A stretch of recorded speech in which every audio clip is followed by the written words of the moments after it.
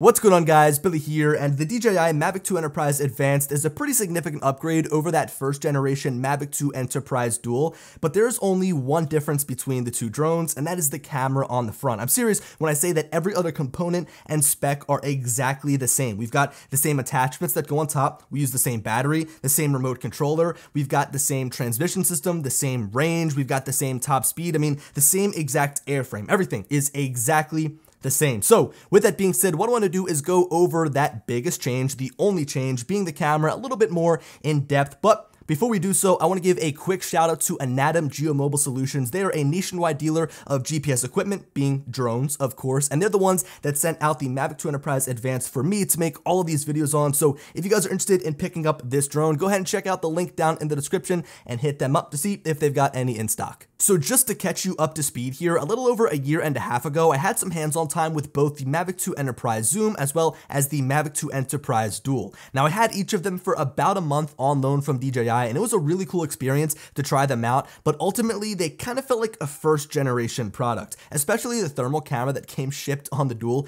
It was just way too low of a resolution to really be used quite frankly, for anything, even search and rescue, which is kind of tough because that's the sector that this drone was mainly targeting. You know, I really wish that I still had a Mavic 2 Enterprise Dual so that I could capture some side-by-side -side comparison thermal images, some taken with the Dual and then some taken with the Enterprise Advanced to show you just how much better this camera is. But nonetheless, let's get into our deep dive here of the Mavic 2 Enterprise Advanced camera. So much like the setup of the Enterprise Dual, the Enterprise Advanced camera system comes with two different sensors, one of which is a thermal sensor, while the other one is just a standard color sensor for shooting regular photos and videos. Now both of these are stacked vertically with the thermal sensor positioned on top and the color sensor positioned on the bottom. This entire camera system is of course mounted to the drone by a 3-axis mechanical gimbal so it stays perfectly smooth while hovering in the air, flying at fast speeds, and if you're dealing with a heavy gust of wind. Now from this point on, to kind of keep things a little bit more organized, I want to split the video into two different sections. So first we'll talk about the color camera, and then we'll move on and we'll talk about the thermal camera. Now,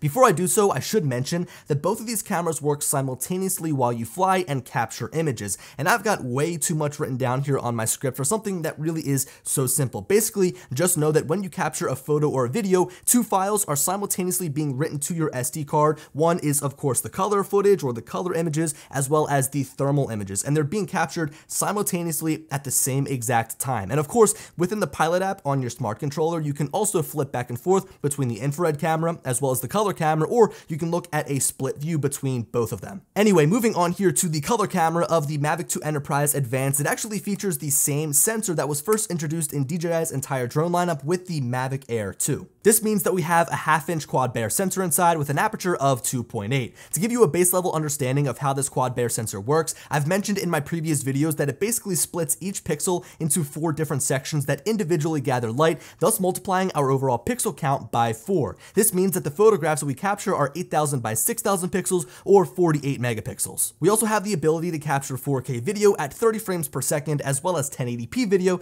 at 30 frames per second. The capture modes are also pretty stripped down with the ability to only take JPEG photos and MP4 video. I should also mention that there's absolutely no manual control over the camera. Everything is locked in on automatic exposure settings, which can be altered through exposure value, but you can't change the individual settings. The spec sheet for this drone's visual camera, not color camera, as DJI calls it, is incredibly short, but to be honest, for the person that is purchasing a Mavic 2 Enterprise Advanced, they don't need all of those special camera features and camera tricks that DJI's other Mavic drones can do, right? They don't need to be shooting hyperlapses, they don't need to be shooting 4K video at 24 frames per second instead of 30 frames per second. They don't need to be shooting HDR video or editing raw photographs, right? I mean, this has everything that it absolutely needs. And to be honest, it actually might be better that way because someone that isn't camera savvy needs to get this drone in in the air to perform an inspection, to use it for search and rescue purposes, doesn't have the time to fiddle around with all the different modes. Everything they need is right there ready to go. Would it be nice to maybe have a little bit more features built out for the color camera? Sure, I mean, manual exposure could be really helpful in certain situations, but at the end of the day,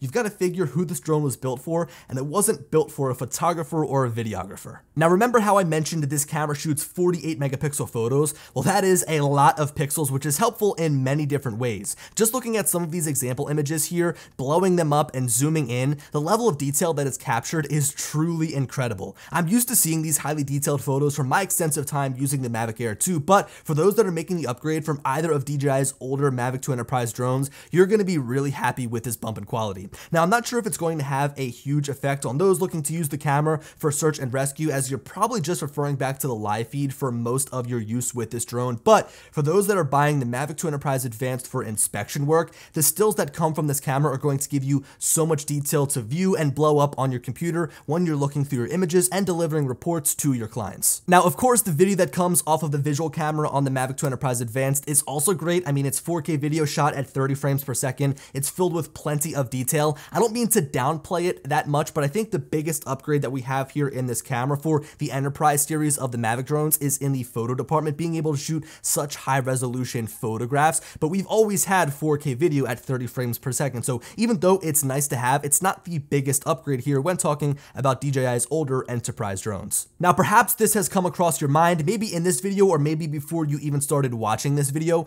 Why did DJI not come out with two different versions of the Mavic 2 Enterprise Advance? Remember, with that first generation of the enterprise drones, the Mavic Enterprise line, they had the dual as well as the zoom, but this go around with this new generation of Mavic Enterprise drones, we've just got the advanced, but that's because they combined the zoom portion into this camera with digital zoom, and even though, okay, it might not be as great as optical zoom, you can still zoom in pretty far. So when we're capturing 1080p video, we've got the option to zoom in four times, which I would say is better than nothing. I mean, you can still get a really nice clean image when zoomed in four times. Just know that you can't do any sort of digital zoom if you're shooting in 4K, which is kind of a bummer because I'm typically shooting video no matter what it is in 4K. So the fact that I don't have any digital zoom is kind of a bummer. But to get the furthest amount of zoom, we've got to jump over to the photo shooting mode, which allows us to zoom in digitally all the way up to 32 times. Now, is this image zoomed in 32 times any good looking? Mm, not really, but for search and rescue purposes, for data collection purposes, for inspection jobs, it can be utilized in the most dire of situations when you can't get any closer to the subject by flying closer to it. I should mention though that the photos you capture when zoomed in don't actually save to the SD card zoomed in. They'll still be there in their full 40 megapixels, uncropped, no matter what focal length you digitally zoom into. But regardless, it still is pretty impressive what you can do with that digital zoom in order to analyze things on the fly. And of course, because you've got got all those pixels retained in those photographs, you can just digitally zoom in on your computer after the fact. Now, one last thing I want to mention about the zoom function built into the Mavic 2 Enterprise advanced camera here is that you can use this back scroll wheel on the smart controller in order to zoom in and zoom out. So what's great about this is you don't have to take your hand off the remote controller to touch on the touchscreen. You can just zoom while on the fly using your finger here on this back scroll wheel. So I think that's pretty much everything that I wanted to cover regarding the color camera, the visual camera, sorry, on the Mavic 2 Enterprise Advanced. So now let's move on to the thermal camera. So despite the big improvements that we just covered made with the visual camera, the thermal sensor is the real standout here as the resolution has been quadrupled from what was found in the older Mavic 2 Enterprise Dual and now has a true sensor resolution of 640 pixels wide opposed to 160 pixels wide. So as you can imagine, the clarity of these images has improved significantly. Another big upgrade is the addition of the 30 hertz refresh rate. So now when you're looking at the live video feed or the video that you capture, it's nice and smooth. There isn't any stutter, which overall is more pleasing to use. I should mention that you can also digitally zoom here with the thermal sensor up to 16 times, but I'm just gonna say it right now that it's not gonna be your most used feature because the image that it produces is just too blurry. It gives me PTSD thinking back to the low resolution sensor in the older Mavic 2 Enterprise Dual. Now to quickly get these out of the way, the color palettes available when shooting thermal photos or thermal videos with the Mavic 2 Enterprise Advanced are white hot, black hot, rainbow 1, iron red, arctic, fulgurite, hot iron, rainbow 2, tint, and medical. So there's a wide variety of choices that you can cycle through depending upon your use case and comfortability. Now hold up really quickly before we move any further, we've got to address an elephant in the room. It's the fact that DJI is no longer working with FLIR to develop thermal camera sensors for their enterprise line of drones. Now that means that the Mavic 2 Enterprise advanced camera is DJI made from top to bottom, the thermal sensor as well as the visual sensor. And we see this with their H20 lineup of cameras as well made for the Matrice 300 and the M300. And look, I don't think that not using FLIR is a knock against this drone whatsoever. FLIR is a great camera manufacturer. It's a great thermal sensor manufacturer. But at the end of the day, DJI doesn't need FLIR to make this drone great. I think, and I speculate, that DJI was not using FLIR, but they were getting help from FLIR to kind of have people take their enterprise lineup of drones seriously. And as that FLIR name was tied to the thermal cameras, it had a lot of people establishing credibility for those sensors. But now that DJI has made cameras themselves all along, I guess they thought, why don't we take a shot at making our own thermal sensor? And they did a great job here with the Mavic 2 Enterprise Advanced, as you'll see here in a couple of seconds because the images look great. But I should mention before we move on, because this is really important,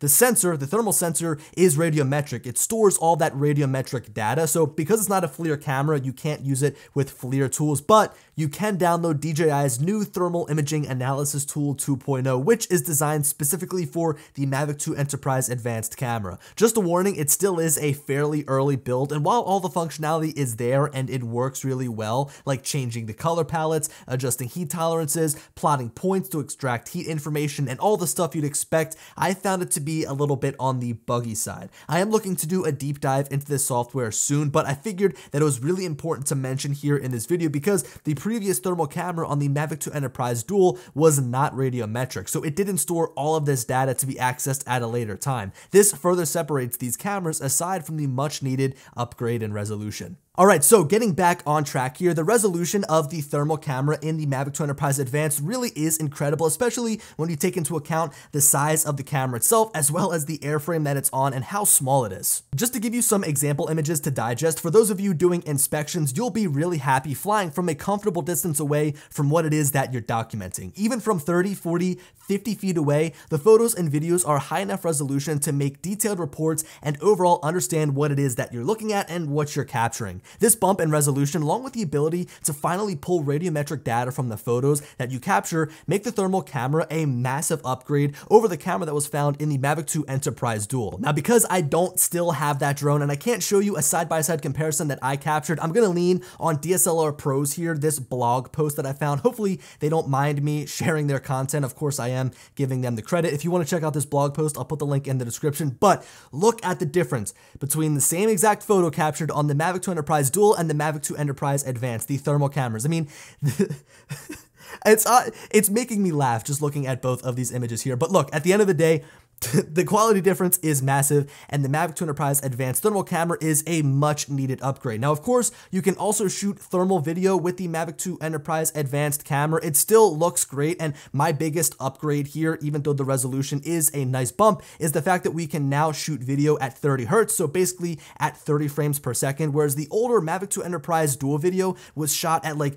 8.7 seconds. It was really choppy. It just wasn't really all that pleasant to look at, but now when you're shooting shooting video, it's going to look sharp because it's a higher resolution and it's also going to look nice and smooth. Now addressing inspection work with the Mavic 2 Enterprise Advanced camera really is only addressing half of the camp because I think that there's going to be a large portion, maybe if not a bigger portion of organizations purchasing this drone for search and rescue operations. Now just know that I really want to make a more in-depth video about using this drone for search and rescue because I think it's a really important topic. So just consider this as like a preview or a teaser. To give you you an understanding of how the camera performs in a search and rescue situation at nighttime, I laid down on the ground and wanted to see if I could pick up my body with the thermal camera. You could consider this cheating because of course I knew where I was, and of course I'm laying right in the middle of an open golf course, right? The best situation possible, but regardless, the camera resolution is high enough to pick up an outline of my body at a height of 150 feet, which is really impressive. I can even snap in with the zoom feature really quickly on the fly and get a closer look at what it is that I'm looking at, or for a higher resolution, I could just fly towards what I think is my body. At 30 feet off of the ground, it all but confirmed what it is. In this case, it is a body. Again, I really want to go further in depth about how this camera can benefit first responders in search and rescue operations. So I just hope that this short clip gave you a taste of what the thermal camera is capable of during these types of use cases. And with that, I think that we've pretty much covered everything that you need to know about the DJI Mavic 2 Enterprise Advanced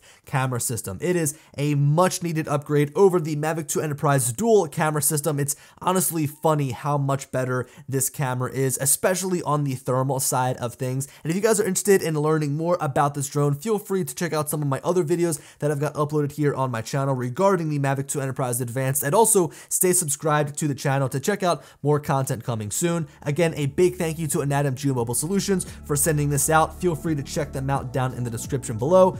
And yeah, as always, hope you enjoyed the video, and I'll talk to you later. Peace.